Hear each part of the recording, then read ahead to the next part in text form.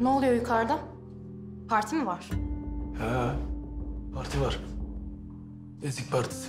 Ananın sofrada ezdiği yetmediği gibi bir de babaannemin ayağının altına kaldık. Tek ezilen siz değilsiniz. Gördüğün gibi Nedim de bizi ezdi geçti. Sen ezilme görmemişsin diyeceğim de. Sofrada gözünü kapamasaydın görürdün. Kim gözünü kapamış ya?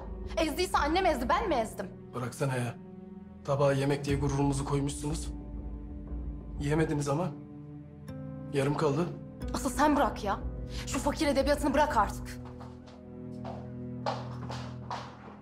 Ya Allah aşkına sus artık. Ne sofraymış be.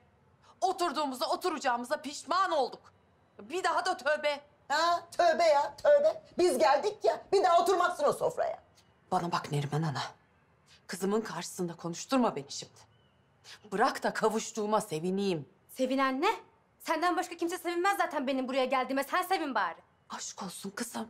O ne biçim laf? Hiç öyle şey olur mu? Bak söylene söylene kardeşini kaçırdınız. Bu çocuk ne yapsın? Ablan da... ab- He abla. Ha şunu bileydin Seher Hanım. Abla ya. Hani nerede ablası? O şey olmuştur. Kocasıyla amcasının arası kötü olmasın diye. Tabii anneciğim tabii. Ablam kesin ara bulmaya çalışıyordur şu an. ya geldiğimizde masadan kalkmaya tenezzül etmeyen ablam. Bak beni geç. Beni geç. Babaanneme bile bir hoş geldiniz demeye tenezzül etmeyen ablam şu an kesin almıştır Agah babayı karşısına ara bulmaya çalışıyordur. Kesin yani.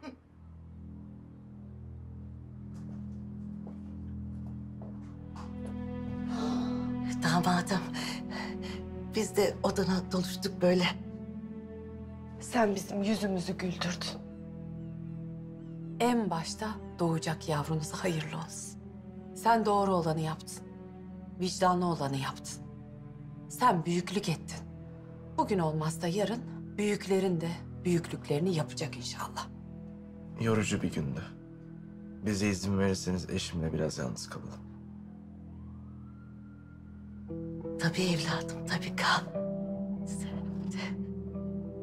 İkinize de Allah rahatlık versin.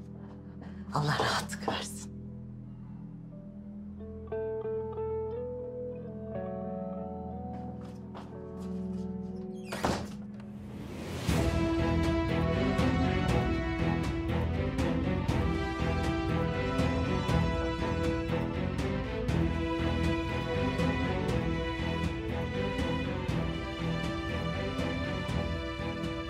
Gel dedim. Geldim. Ne, ne istiyorsun benden? Hı?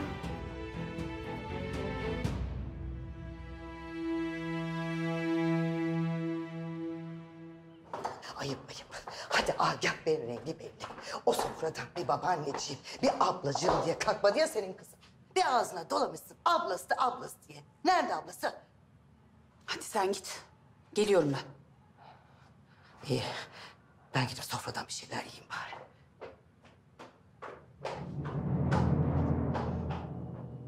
Nasıl yaptın bunu Nedim? Nasıl yaptın?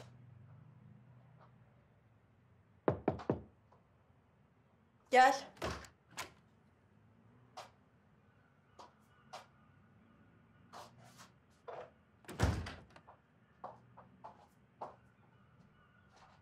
Yukarı çıkıp bir hoş geldin demek yok mu kardeşine? Neyse artık çıkma zaten. Kocası yanında şimdi. Ama sabahleyin kahvaltıda öpüp hoş geldin diyeceksin. Bozuldu sana. Gücendi. Zafer çığlıklarını susturup bir de yanına gidip hoş geldin dememi mi bekledi? Cemre niye böyle yapıyorsun? Biz seninle ne konuştuk hastanede? Daha yeni konuştuk. Hani bitecekti hırgürünüz? Anne ne olur. Ne olur falan yok. O senin kardeşin. Gözünü kulağını iyi açıp beni dinleyeceksin. Anne ne söyleyeceğini biliyorum. Ama duymak istemiyorum. Evet bir bebek var. O benim yeğenim. Ona rağmen bütün bu olanları unutup Ceren'in eve dönmesine mutlu olmamı bekleme. Olacaksın efendim. İkiniz de artık kendi yuvalarınıza bakacaksınız. Madem aynı çatı altına girdiniz, kardeş olacaksınız. Bu kadar Cemre Hanım.